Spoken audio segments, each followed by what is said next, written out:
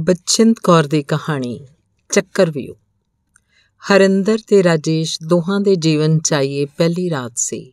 ਪਹਿਲੀ ਘੜੀ ਸੀ, ਜਦੋਂ ਇੱਕ ਦੂਜੇ ਦੇ ਇੰਨੇ ਕਰੀਬ, ਇੰਨੇ ਨੇੜੇ ਸਨ ਕਿ ਦੋਹਾਂ ਦੇ ਸਾਹਾਂ ਦੀ ਖੁਸ਼ਬੂ ਇੱਕ ਦੂਜੇ ਦੇ ਪਿੰਡਿਆਂ 'ਚ ਘੁਲਦੀ ਜਾ ਰਹੀ ਸੀ। ਸਰਾਣੇ ਮੇਜ਼ ਤੇ ਪਏ ਟ੍ਰਾਂਜਿਸਟਰ ਉੱਤੇ ਸੁਰੀਲੀ ਆਵਾਜ਼ 'ਚ ਇੱਕ ਗੀਤ ਦੇ ਬੋਲ ਸੁਣਾਈ ਦੇ ਰਹੇ ਸਨ। ਇੱਕਾ ਇੱਕ ਗੀਤ ਦੇ ਬੋਲ ਸੁਣ ਹਰਿੰਦਰ ਬਿਸਤਰੇ 'ਚ ਉੱਠ ਬੈਠੀ। ਉਹਨੇ ਚਿੱਟਾ ਦੁੱਧ ਮੁਲਾਇਮ ਹਰਨੋਟੇ ਵਰਗਾ ਸਿੰਬਲ ਦੀ ਰੂਹ ਨਾਲ ਭਰਿਆ ਤਕੀਆ ਗੋਦੀ 'ਚ ਲੈਂਦਿਆਂ ਆਪਣੀ ਹਿੱਕ ਨਾਲ ਘੁੱਟ ਲਿਆ।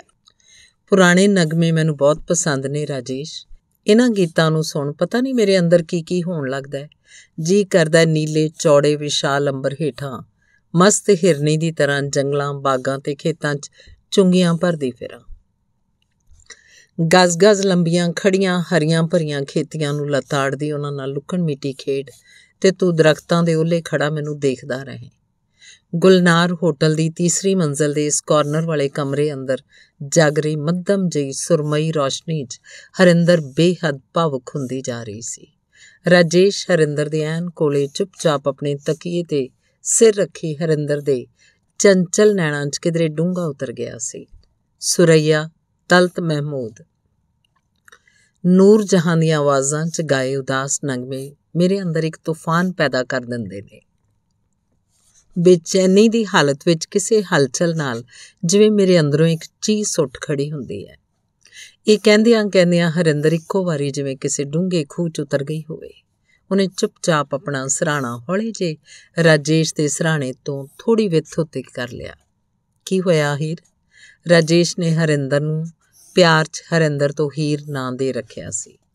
ਰਾਜੇਸ਼ ਦੀ ਗੱਲ ਦੇ ਉੱਤਰ ਛਰਿੰਦਰ ਨੇ ਉਸ ਵੱਲ ਪਾਸਾ ਪਰਤਦਿਆਂ ਅੱਖਾਂ 'ਚੋਂ ਛਲ-ਛਲ ਹੰਝੂ ਭਰਦਿਆਂ ਕਿਹਾ, ਰਾਜੇ, ਕੀ ਸੱਚਮੁੱਚ ਸਾਡੀ ਸ਼ਾਦੀ ਨਹੀਂ ਹੋ ਸਕਦੀ? ਰਾਜੇਸ਼ ਨੇ ਇੱਕ ਠੰਡਾ ਹੌਕਾ ਭਰਿਆ ਤੇ ਫਿਰ ਜਿਵੇਂ ਖਾਮੋਸ਼ ਬੁੱਤ ਦਾ ਬੁੱਤ ਬਣ ਕੇ ਰਹਿ ਗਿਆ। ਹਰਿੰਦਰ ਦੇ ਇਸ ਸਵਾਲ ਦਾ ਕੋਈ ਵੀ ਉੱਤਰ ਤਾਂ ਉਹਦੇ ਕੋਲ ਨਹੀਂ ਸੀ। ਉਹਦੇ ਆਪਣੇ ਦਿਲ 'ਚੋਂ ਇੱਕ ਠੰਡੀ ਆ ਨਿਕਲ ਕੇ ਜਿਵੇਂ ਉਹਦੇ ਆਪਣੇ ਹੋਠਾਂ ਤੇ ਜੰਮ ਕੇ ਰਹਿ ਗਈ ਸੀ। ਕਾਸ਼ ਉਹ ਇਹ ਸ਼ਾਦੀ ਕਰ ਸਕਦਾ। ਆਪਣੀ 10 ਸਾਲ ਵੱਡੀ ਪਰਜਾਈ ਚੰਦਕੁਰ ਜੋ ਉਹਦੇ ਵੱਡੇ ਭਰਾ ਦੀ ਵਿਧਵਾ ਸੀ ਉਹ ਤੋਂ ਕਿਵੇਂ ਨਾ ਕਿਵੇਂ ਛੁਟਕਾਰਾ ਪਾ ਸਕਦਾ, ਜੋ ਹੁਣ ਉਹਦੇ ਆਪਣੇ ਇੱਕ ਬੱਚੇ ਦੀ ਮਾਂ ਵੀ ਸੀ। ਇਹ ਸਭ ਕੁਝ ਜ਼ਬਰਦਸਤੀ ਦੀ ਖੇਡ ਸੀ।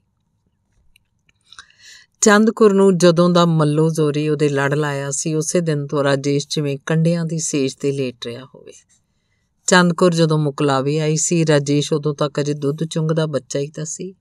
ਕਿੱਥੇ ਰਾਜੇਸ਼, ਕਿੱਥੇ ਚੰਦਕੁਰ ਭਰ ਜਵਾਨ। ਜਦੋਂ ਤੁਰਦੀ ਜਿਵੇਂ ਧਰਤੀ ਹਿੱਲ ਹਿੱਲ ਜਾਂਦੀ। ਪਰ ਰਾਜੇਸ਼ ਦਾ ਵੱਡਾ ਭਰਾ ਕਰਤਾਰ ਆਪਣੀ ਜਵਾਨੀ ਦੇ ਸਿਖਰ ਦੁਪਹਿਰ ਉਹਨੂੰ ਭਰੀ ਭਰਾਈ ਨੂੰ ਛੱਡ ਕੇ ਅੱਜ ਤੋਂ 6 ਵਰੇ ਪਹਿਲਾਂ ਪਰਲੋਕ ਸਿਧਾਰ ਗਿਆ ਸੀ। ਜਰ ਤੇ ਜੋਰੂ ਨੂੰ ਛੱਡਦੇ ਨੇ ਭਲਾ ਜੱਟਾਂ ਦੇ ਪੁੱਤ ਕਦੇ? ਪਿੰਡਾਂ 'ਚ ਤਾਂ ਜੱਟਾਂ ਦੇ ਘਰੀ ਕਈ ਕਈ ਭਾਈਆਂ ਦੇ ਘਰ ਕਈ ਥਾਈਂ ਇੱਕੋ ਤੀਵੀਂ ਸਾਰਾ ਟੱਬਰ ਸਾਂਭੀ ਰੱਖਦੀ ਹੈ। ਫਿਰ ਰਾਜੇਸ਼ ਦਾ ਤਾਂ ਹੋਰ ਕੋਈ ਭਾਈ ਵੀ ਨਹੀਂ ਸੀ, ਨਾ ਵੱਡਾ, ਨਾ ਉਹ ਤੋਂ ਛੋਟਾ। ਤੇ ਜਿਸ ਦਿਨ ਤੋਂ ਰਾਜੇਸ਼ ਨੇ ਰੋਪੜ ਆ ਕੇ ਦਫ਼ਤਰ ਦੀ ਨੌਕਰੀ ਕੀਤੀ ਸੀ, ਚੰਦਕੁਰ ਪਿੰਡ 'ਚ ਹੀ ਬੱਚਿਆਂ ਕੋਲ ਕੱਲੀ ਰਹਿੰਦੀ ਸੀ।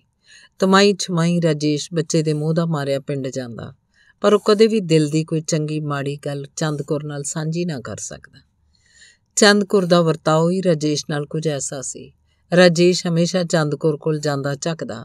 ਚੰਦਕੁਰ ਨੂੰ ਰਾਜੇਸ਼ ਦੀ ਇਹ ਗੱਲ ਅੰਤਾਂ ਦੀ ਬੁਰੀ ਲੱਗਦੀ। ਮਾਉਂ ਜਿਆ ਆ ਤਾਂ ਜਾਣਾ ਭੁੱਲ ਭੁਲੇਖੇ ਕਦੇ ਕੋਈ ਗੱਲ ਵੀ ਕਰ ਲਿਆ ਕਰ। ਮਰਦਾਂ ਵਾਲੀ। ਵੱਡਾ ਸ਼ਹਿਰੀ ਬਣਿਆ ਫਿਰਦਾ ਹੈ। ਕਦੇ ਮਰਦ ਵੀ ਬਣ ਕੇ ਦਿਖਾ, ਤੂੰ ਤੇ ਚੂਹਾ ਹੀ ਹੈ ਨਿਰਾ। ਚੰਦਕੁਰ ਦਾ ਐਸਾ ਬਗਿਆੜੀ ਵਾਲਾ ਰੂਪ ਦੇਖ ਹਰ ਵਾਰ ਰਾਜੇਸ਼ ਦੀਆਂ ਕੁਆਰੀਆਂ ਸਦਰਾਂ, ਕੰਧਾਂ ਦੇ ਖਲੇਪੜਾਂ ਵਾਂਗ ਝੜ ਕੇ ਰਹਿ ਜਾਂਦੀਆਂ। ਤੇ ਫਿਰ ਜਿਵੇਂ ਉਹ ਇੱਕ ਸ਼ਿਲਤਾਂ ਭਰੇ ਸ਼ਤੀਰ ਨੂੰ ਜਫੀਆਂ ਪਾਪਾ ਲਹੂ ਲੁਹਾਨ ਹੋ ਵਾਪਸ ਰੋਪੜ ਮੁੜ ਆਉਂਦਾ। ਪਿੰਡ ਤੇ ਸ਼ਹਿਰ ਪਹੁੰਚਣ ਤੱਕ ਉਹਦੇ ਦਿਲ ਦੇ ਕੋਨੇ-ਕੋਨੇ 'ਚ ਸੂਲਾਂ ਹੀ ਸੂਲਾਂ ਚੁੱਭਦੀਆਂ ਰਹਿੰਦੀਆਂ। ਜਿਨ੍ਹਾਂ ਨੂੰ ਕਿੰਨਾ ਕਿੰਨਾ ਚਿਰ ਮਿੱਠੀਆਂ ਮਿੱਠੀਆਂ ਗੱਲਾਂ ਕਰਦੀ ਹਰਿੰਦਰ ਨੌ ਨੌ ਝੁਕਦੀ ਰਹਿੰਦੀ। ਪਿੰਡ ਤੋਂ ਸ਼ਹਿਰ ਤੱਕ ਆਉਣ ਨਾਲੋਂ ਹਰਿੰਦਰ ਲਈ ਰਣਧੀਰ ਤੋਂ ਰਜੇਸ਼ ਬਣ ਗਿਆ ਸੀ। ਤੇ ਪਿਆਰ ਭਰੇ ਬੋਲਾਂ ਤੇ ਦੁਧੀਆ ਫੇਹੇ ਜ਼ਖਮਾਂ ਤੇ ਦਰਦੀ ਆਈਟੀਆਈ ਦੀ ਇੱਕ ਇਨਸਟ੍ਰਕਟਰ ਕੁੜੀ ਹਰਿੰਦਰ ਰਾਜੇਸ਼ ਲਈ ਹਰਿੰਦਰ ਤੋਂ ਹੀਰ ਬਣ ਗਈ ਸੀ। ਹੁਣ ਦੋਹਾਂ ਨੂੰ ਇੱਕ ਦੂਜੇ ਤੋਂ ਬਿਨਾਂ ਪਲ ਭਰ ਵੀ ਜਿਉਣਾ ਜਿਵੇਂ ਮੁਹਾਲ ਜਾਪਦਾ ਸੀ। ਗੁਲਨਾਰ ਹੋਟਲ ਦੀ ਤੀਜੀ ਮੰਜ਼ਿਲ ਤੇ ਬਣੇ ਇਸ ਕਮਰੇ 'ਚ ਪੈਰ ਧਰਦਿਆਂ ਹੀ ਰਾਜੇਸ਼ ਨੇ ਹਰਿੰਦਰ ਨੂੰ ਆਪਣੀ ਹਿੱਕ ਨਾਲ ਕੁੱਟਣਾ ਚਾਹਿਆ ਸੀ, ਪਰ ਝਾਟੀ ਬਹਿਰੇ ਦਾ ਕਮਰੇ ਦੀ ਬੈਲ ਵਜਾਉਣਾ ਤੇ ਨਾਲ ਹੀ ਨਾਸ਼ਤੇ ਤੇ ਚਾਹ ਦੀ ਟ੍ਰੇ ਲੈ ਕੇ ਅੰਦਰ ਲੰਘ ਆਉਣਾ, ਦੋਵੇਂ ਜਿਵੇਂ ਇਕੱਠੇ ਕੰਬ ਕੇ ਰਹਿ ਗਏ ਹੋਣ। ਕਿੰਨਾ ਅਜੀਬ, ਕਿੰਨਾ ਸੂਖਮ ਪਲ, ਜੋ ਹੱਥੋਂ ਐਸਾ ਖਿਸਕਿਆ, ਮੁੜ ਹੁਣ ਤੱਕ ਹੱਥ ਨਹੀਂ ਸੀ ਆਇਆ, ਜਦੋਂ ਕਿ ਹੁਣ ਉਹ ਇਸ ਕਮਰੇ 'ਚ ਇਕੱਲੇ ਸਨ, ਇੱਕ ਦੂਜੇ ਦੇ ਬਿਲਕੁਲ ਕਰੀਬ। ਕਿ ਜੇ ਉਹ ਚਾਹੁੰਦੇ ਤਾਂ ਹਵਾ ਵੀ ਦੋਹਾਂ ਦੇ ਵਿੱਚੋਂ ਦੀ ਨਾ ਗੁਜ਼ਰ ਸਕਦੀ। ਕਿੰਨੇ ਚਿਰਾਂ ਤੋਂ ਦੋਹਾਂ ਦੀ ਇੱਕ ਰੀਝ ਜੋ ਲੰਬੇ ਅਰਸੇ ਦੀ ਉਡੀਕ ਪਿੱਛੋਂ ਅੱਜ ਕੋਲੋਂ ਦੀ ਉਹ ਲੰਘ ਗਈ ਸੀ, ਜਿਵੇਂ ਕੋਈ ਕਿਸੇ ਦਾ ਦਿਲ ਜਾਨੀ ਬਿਨਾ ਦੇਖਿਓ ਹੀ ਕੋਲੋਂ ਦੀ ਲੰਘ ਜਾਏ। ਤੇ ਫਿਰ ਉਹਦੇ ਦਿਲ 'ਚ ਉੱਠੀ ਚੀਜ਼ ਇੱਕ ਨਸੂਰ ਬਣ ਕੇ ਰਹਿ ਗਈ ਹੋਵੇ। ਵਕਤ ਵੀ ਅਜੀਬ ਸ਼ੈ ਹੈ।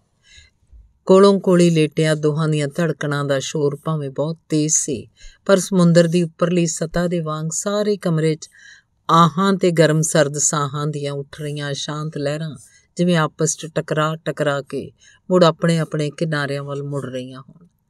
ਰਾਜੇਸ਼ ਇੱਕੋ ਚੁੱਪ ਉੱਤੇ ਛੱਤ ਵੱਲ ਟਿਕ ਟਿੱਕੀ ਲਗਾਈ, ਦਿਲ ਦੇ ਪਰਦੇ ਉੱਪਰ ਚੱਲ ਰਹੀਆਂ ਇੱਕੋ ਵਾਰੀ ਜਿਵੇਂ ਦੋ ਤਸਵੀਰਾਂ ਦੇਖ ਰਿਹਾ ਹੋਵੇ, ਜੋ ਉਹਦੇ ਸਾਹਮਣੇ ਨਾ ਜਾਣੇ ਕਿਉਂ ਇਸ ਵੇਲੇ ਉਗੜ ਆਈਆਂ ਸਨ। ਚੰਦ ਕੁਰ ਜੋ ਰਜੇਸ਼ ਨੂੰ ਫੁੱਟੀ ਅੱਖ ਦੇਖ ਨਹੀਂ ਸੀ ਸਿਖਾਉਂਦੀ, ਹਰਿੰਦਰ ਜੋ ਰਜੇਸ਼ ਨੂੰ ਪਲ ਭਰ ਵੀ ਆਪਣੀਆਂ ਨਜ਼ਰਾਂ ਤੋਂ ਦੂਰ ਨਹੀਂ ਸੀ ਕਰ ਸਕਦੀ।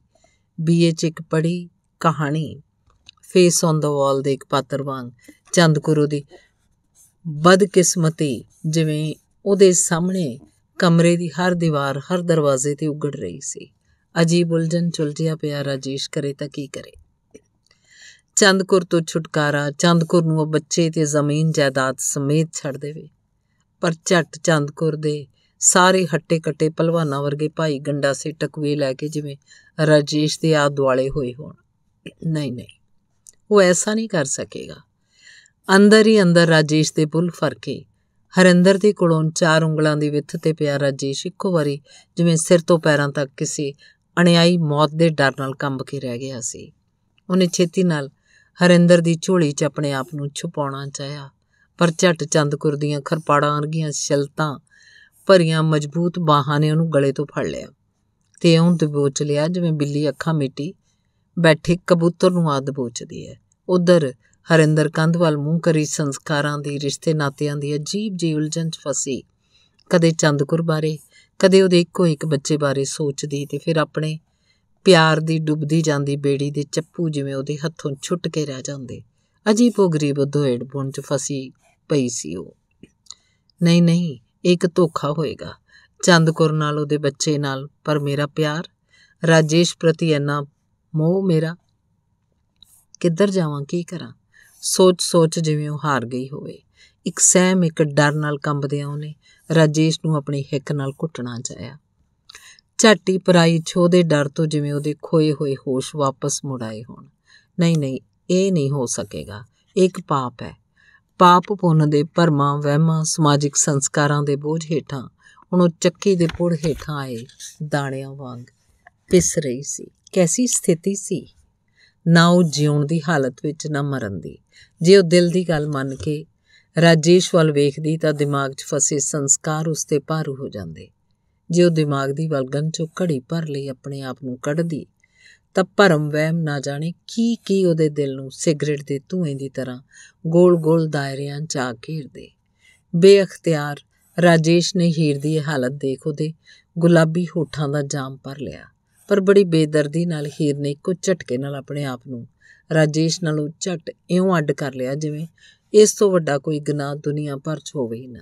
ਰਾਜੇਸ਼ ਸ਼ਰਮਿੰਦਾ ਜਿਹਾ ਹੋ ਕੇ ਥਾਂ ਦੀ ਥਾਂ ਜਿਵੇਂ ਠੰਡਾ ਯੱਖ ਹੋ ਕੇ ਰਹਿ ਗਿਆ। ਬੜੀ ਮੁਸ਼ਕਲ ਨਾਲ ਉਹਨੇ ਆਪਣੇ ਅੰਦਰਲੇ ਸ਼ੋਰ ਤੋਂ ਬਚਣ ਲਈ। ਕੋਲ ਮੇਜ਼ ਤੇ ਪਏ ਟ੍ਰਾਂਜਿਸਟਰ ਦੀ ਨੌਬ ਨੂੰ ਇਹ ਮਰੋੜਿਆ ਜਿਵੇਂ ਕੋਈ ਬੜੀ ਬੇਦਰਦੀ ਨਾਲ ਮੁਰਗੇ ਦੀ ਕੁੰਡੀ ਮਰੋੜਦਾ ਹੈ। ਹਰਿੰਦਰ ਚੁੱਪ ਸੀ, ਰਾਜੇਸ਼ ਚੁੱਪ ਸੀ, ਪਰ ਦਿਲਾਂ ਅੰਦਰਲੀ ਚਿੰਗ ਚਿੰਗਾਹਟ ਦੋਹਾਂ ਦੇ ਸੀਨੇ ਵਿੰਨਦੀ ਜਿਵੇਂ ਉਹਨਾਂ ਨੂੰ ਪੋਟਾ ਪੋਟਾ ਵਿੰਨਦੀ ਜਾ ਰਹੀ ਸੀ। ਧੰਨਵਾਦ, ਸਮਾਪਤ।